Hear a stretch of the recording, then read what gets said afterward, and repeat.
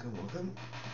Uh, today I'm going to be showing you a quick tutorial on my options menu, which I'll be showing off now. Um, it's very simple.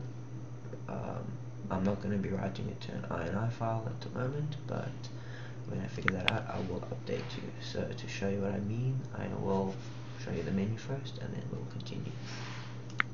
So each button obviously sets the as you can see it sets the different qualities.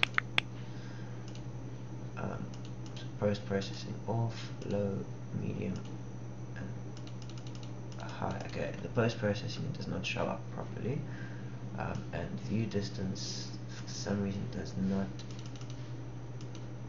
seem to work there now that it's daytime you will be able to see it better. Um, then clicking apply I just have not fixed that yet so that's the one that's the option that will save it to the file as you can see over there. Um, so let's go back and let, let, me show you what the blueprint looks like. So this is that's the level blueprint sorry guys. So I have a let's see menu. Alright so on options Right, so on the clicked event, it will hide the main menu and create the options blueprint and show it up. Which means that this will pop up. So, um, this is very simple. This is just buttons. So if you were to add another button, and you just add a button, add text, and on click event, you'll see. Um, I will use, I'll do this again. So yeah, drag it out, um, command, execute console command, and go straight. Then the command you can find over here. The command is done with, oops, sorry, um, I'll edit this part probably command is done with scalability. So I will link, leave a link in the description. So what's happening here is if we do shadows for example, here we go. So uh, this explains very well. So you'll see SG shadow quality zero. That means it is that shadows, which means they are off. Um, so you basically just copy paste or you can make it a string if you'd like I just find that I don't need a string and then you carry on. That's the one done. Save compile and go back to designer next button create the button add the effects unclicked view and then instead of zero you just add one. So all it's doing is as you can see I just go through every single um, oh, for example, these textures. I still have not done the textures, but for example, I've done post-processing, I've done one, two, three. Um, so off would be zero, low would be one, medium would be two, and high would be three.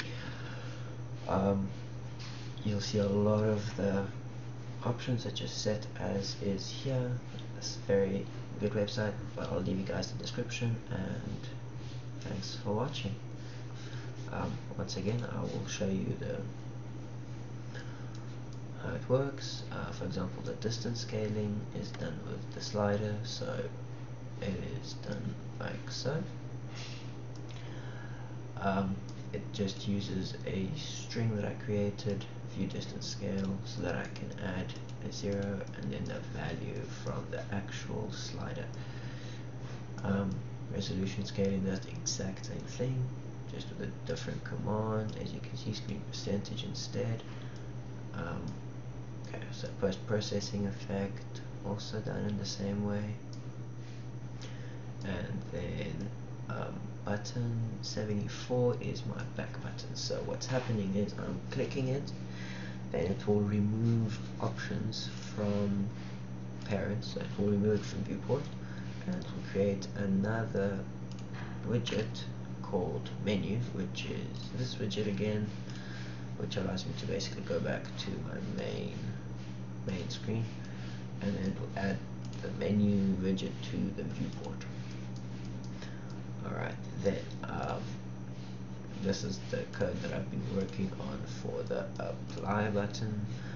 Um, so it's, the apply button is going to create a save game object with the actual graphics qualities. So how that's going to work is I'm going to be using the graphics quality upgrade settings.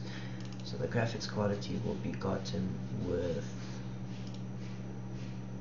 okay I just opened up Visual Studio. The graphics quality will be gotten with um, with the blueprints as you can see here. Will be gotten on create so the game will either load the graphics qualities or it will create the lowest or an automatic I'm still trying to work on that and then it will um, actually put them in as a command. Alright thanks for watching guys and I'll check you next time